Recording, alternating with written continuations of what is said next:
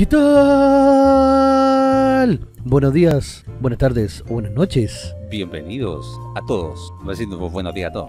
Claro. Ángel, ¿Cómo está, profe? Tantos Muy bien. lunas, tantos eones que no ¿Dónde nos juntábamos. Te he dicho en tantos litros que no pasaba. Para no decir tantos hueones que no nos juntábamos.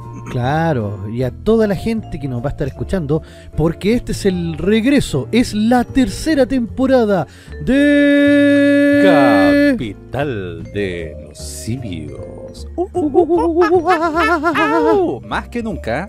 Oh yeah. Oh yeah. Y si seguimos así, seremos la capital de los merluzos. Sí. Oiga, profe, nos fuimos un rato y quedó la cagada del mundo.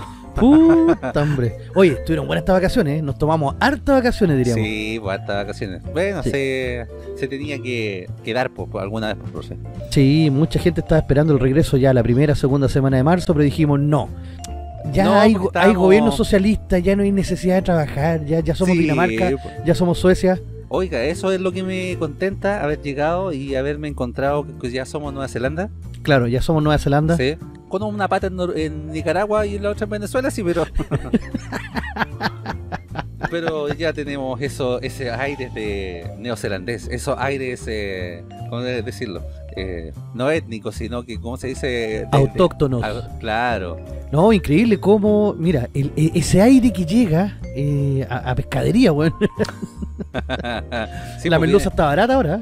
Viene, viene, de, viene de ahí de teatinos con Agustina, por ahí. Claro, por ahí, por ahí eh, empieza a sentirse la, la bucanada de, Sí, pues. de aire a merluza. Exactamente. Oye, mire, las coincidencias de la vida cierran la calle Esperanza, Claro. Pero ¿Ah? tú, ¿cachai dónde está viviendo ahora eh, nuestro querido llamado presidente? el amado Lidl. Sí. Eh, no, ¿dónde está? Bueno, es la calle más irónica, es la esquina más irónica de Chile. ¿Sí? Sí, es huérfanos con esperanza. Bueno, huérfanos con esperanza. Es imposible esa cuestión. Pero claro, él, él- él está viviendo ahí. Oiga, dicen que no ha cambiado mucho el tema de la seguridad ahí en, eh, en ese barrio. Eh, creo que dos cuadras a la redonda sí ha cambiado un poco, pero sigue igual el mambo ahí con eh, los eh, seres de luz, que todas las noches se ponen a bambosear y hay harto, hay harto desorden ahí. Tengo entendido que el microtráfico sigue muy potente. Claro. Que es más, de hecho ahora parece que tienen clientes nuevos. Pero no me extraña, No sé si me que- explico. ve que el otro salió a comprar ahí eh, y la prensa decía salió a comprar unos sanguchitos, venían con mayonesa, a lo mejor venían con sobrecito de salpo. Claro, esos sobrecitos de sal de 10 lucas. Claro. Puede ser. Ay, ay, ay. Don Station, ¿podríamos explicarle un poquito a la gente cómo va a ser la, la tónica de esta tercera temporada? Sí, pues, mire, va a ser eh, más o menos eh, similar a la de la segunda, ya van a haber unos poquitos cambios, no vamos a tener palabra de la semana en esta ocasión, porque eh, pensábamos que estaba un poquito de más, o no de más, sino que igual eh, queremos darle cabida a otras secciones y a otras noticias, o alargar un poquito más, digamos, los comentarios de las noticias que nosotros vamos dando, como La Vuelta al Mundo, Chile el Día, y también las últimas noticias que vamos eh, haciendo al final del programa, las recomendaciones y eso. Excelente. Así que eso, muchachos. Eh, oiga, profe, como le decía, quedó la cagada del mundo y bueno, pasan cosas en el mundo, así que vamos ahora con... La vuelta al mundo. La vuelta al mundo. Y no es de extrañarse que ya este mundo progresista, que tan cambiado que tenemos, ¿eh? tengamos este tipo de noticias, pues, profe. Oye, pero en verdad, el, el solo titular ya es para cagarse la risa. Mira, lo voy a leer con voz de señora afligida y compungida. ¿Ya? Si solo salió a saltar, no le hacía daño a nadie. Madre de ladrón exige justicia por su muerte tras protagonizar asalto. Eso supongo que acá en Chile, ¿o no? No, no, no. ¿No? No, es en Colombia. Sí, sí, Colombia, sí, sí, Caribe. Bueno, podríamos igual haberlo esperado de acá. Sí, acá también las mamitas salen a, a hacer eso. Le dicen, ah, pero si mi niño es tan bueno, si mi niño es tan lindo. ¿Te acordás una vez que en el. Parece que fue en aquí en vivo, no, en un reportaje del, del 11, no me acuerdo bien, que mostraron un funeral de un choro porque la, la prensa lo había confundido con un narco. Y la misma familia llamó a la tele para mostrar cómo era el funeral y el loco, ¿te acordáis que le colocaron las últimas cosas que había robado arriba del ataúd? Creo que sí, sí, creo recordar algo de esa noticia. Y que la hermana parece que era, decía, el loco era entero asaltante, pero nada que ver con traficante, porque era asaltante y traficante hay tremenda diferencia. y te decían, si el loco no le hacía daño a nadie, se salía a asaltar todos los días, pues llevar a su mamita, para a su mamita. Sí, pues sí, para eso hay que estudiar en la Universidad de la Vida, ¿o no? Sí, po. Uy, pero yo esa, vez también quedé impactado, decía, uy, la cagó. Porque estos locos en verdad se la creían, o sea, era, era su convencimiento de que eh, solamente asaltaban, que no le hacían daño a nadie. Es como chu. Sí, pues, igual que los de la convención, Claro, ¿cierto?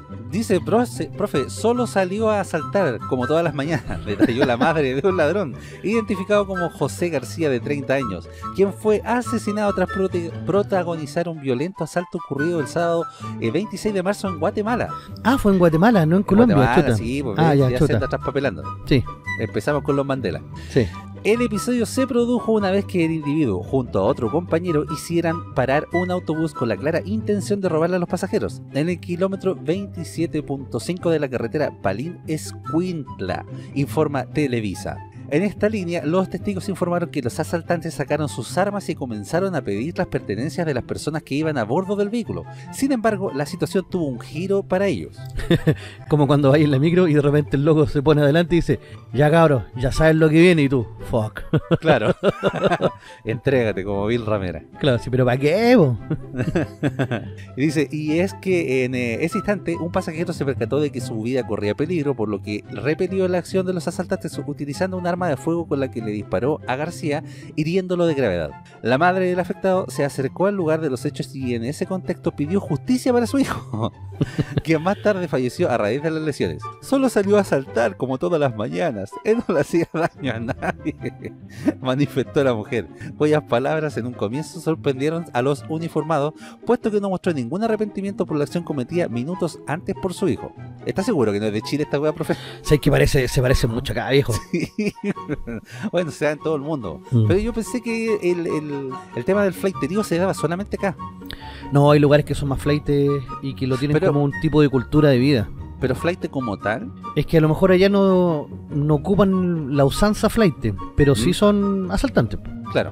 Dice respecto al otro asaltante, se escapó al momento en que García fue abatido. Ay, me encima los ojos solo el maricón. Sí.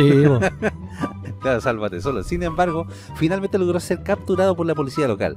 El sujeto fue identificado como Vidal Alfredo Barrías Herrera, de 26 años, quien también se encontraba herido en ese instante. Ah, o sea, el loco lo repelió a los dos así, pa, pa, punta balazo, así como ya. Sí, pues. A ver, el que se salva. La otra vez vi un video de. Era, era de Chile, sí, en donde trataron de asaltar un PDI. Y el PDI salió a, a repelerlos con el arma. ¿No ves que eran dos o tres, me acuerdo, que venían en un auto. Eh, parece que le quisieron hacer un portonazo o algo así. La cosa es que el tipo le dispara a uno. eh, y los otros dos salen, uno sale en el auto, el otro sale corriendo y el otro cayó al suelo y iba tratando de escapar pero a gata. Y los otros los dejaron tirados ahí. No, si los locos sálvate solo nomás no, no se meten. ¿Hay cachado que cuando los locos les disparan?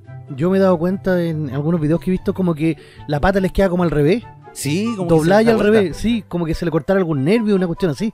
Capaz, po. algún tendón, algún músculo alguna vez. Puede ser alguna cuestión así porque en verdad es como súper extraño. Y hay que echar el Sí, tiro que el loco ya está pedido. Oye, Oiga, pero... pero... no más extraño que esta noticia, pues, profe. oh, Esta sí que, bueno, ya no. Es que en este mundo ya nada es extraño, pues, profe. Todas estas cosas ya son como normales. Esto también ha pasado, yo creo, acá. ¿Cuál? ¿eh? ¿Mm? Ah, ya, ya, ya, ya. Familia asaltada en su casa quedó detenida. Ladrones los acusaron de malos tratos. Esto sí que ya es carrajismo total, weón. Por eso le digo, ve que si ya te están normalizando esta, esta, estas noticias o estas cosas, ya como que no sorprenden mucho. Sí. Los delincuentes recuperaron su libertad pese a contar con antecedentes por robo y tentativa de homicidio. Mira Y usted qué ya, lindo. pero esta weá sí tiene que ser de Chile.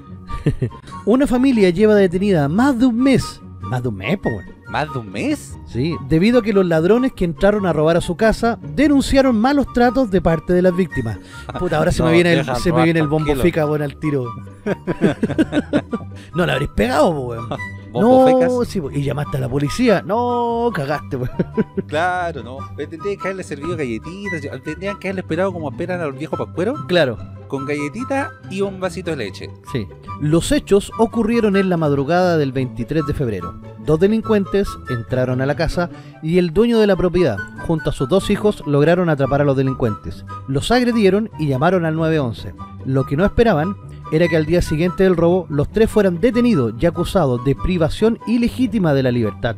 Actualmente la familia está en prisión preventiva efectiva esperando el juicio, o sea, lo acusaron de secuestro. ¿De secuestro? Sí, Bueno, Argentina. no lo entenderías. No lo entendería. Argentina, un país con buena gente. en todo caso, ¿eh? Y nuestro merluzo anda por allá ahora que estamos grabando. Claro.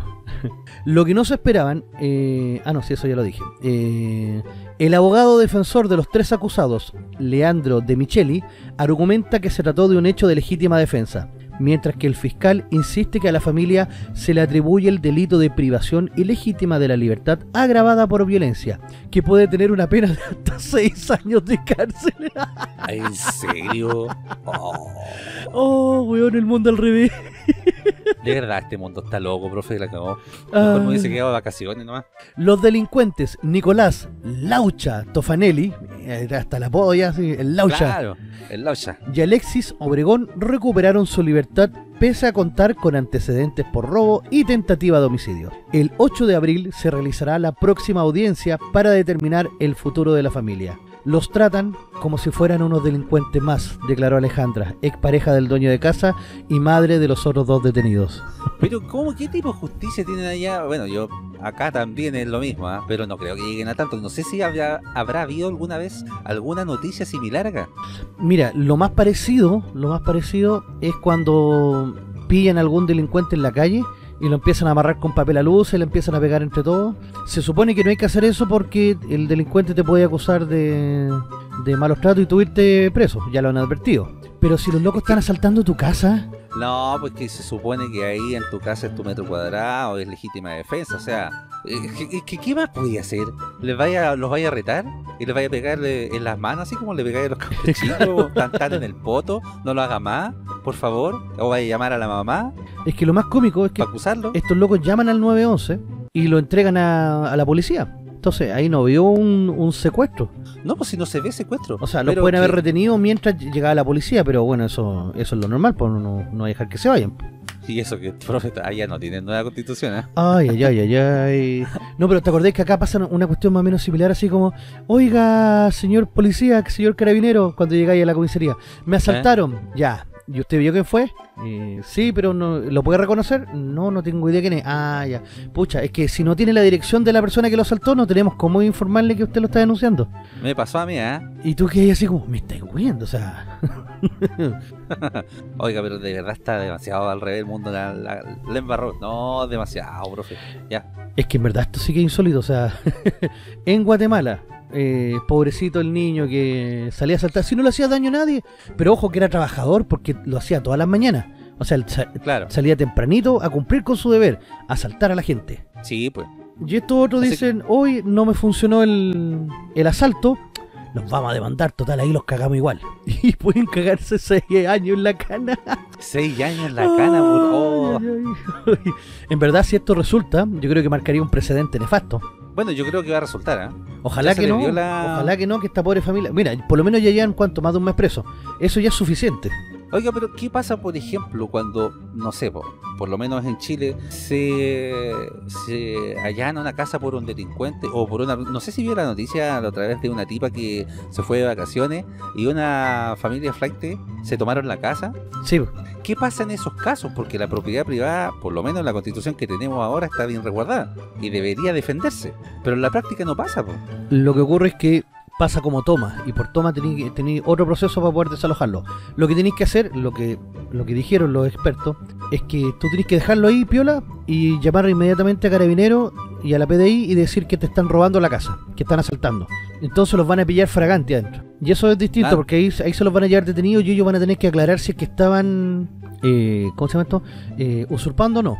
Ahora, yo vi, no me acuerdo si fue en Argentina o en España, bueno, de que Mm. unos locos habían tomado una casa, fueron a comprar, la dueña de casa se retomó la casa, y estos locos la acusaron al juez, y el juez obligó a que la dueña de casa saliera de su casa.